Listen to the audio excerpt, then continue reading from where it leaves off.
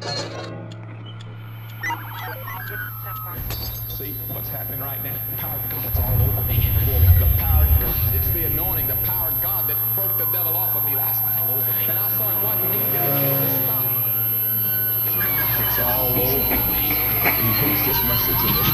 He doesn't want you to get it. Because it'll step you out of the light. Step you out of the darkness and get you into the light.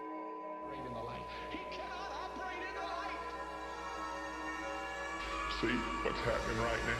Of God's all over.